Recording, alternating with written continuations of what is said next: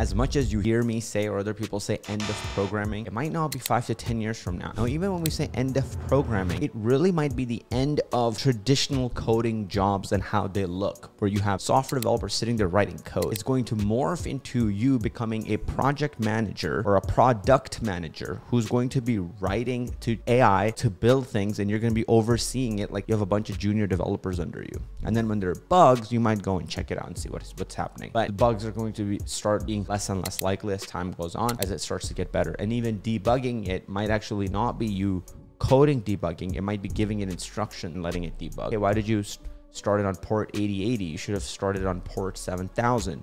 Hey, why were we using MongoDB? We needed you to use Firebase for this. You know, that, that level of debugging, kind of like you would when you're interacting with the developer. So coding is an exciting time. You should still learn it. It's incredibly valuable. But start using these AI tools and ChatGPT tools that